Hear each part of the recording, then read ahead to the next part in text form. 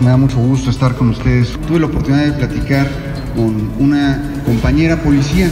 Les brindamos capacitación técnica, capacitación física, capacitación teórica sobre el nuevo sistema penal acusatorio. Le dije, ¿cómo te sientes después de la capacitación? Lo que me dijo fue, alcalde, sé más y estoy dispuesta a más que un delincuente. Estamos listos para combatir a la delincuencia. En comparación con el mismo trimestre del año pasado, hemos detenido 98% más delincuentes. Pero atrás de estos datos, lo que hay son héroes y heroínas con uniforme.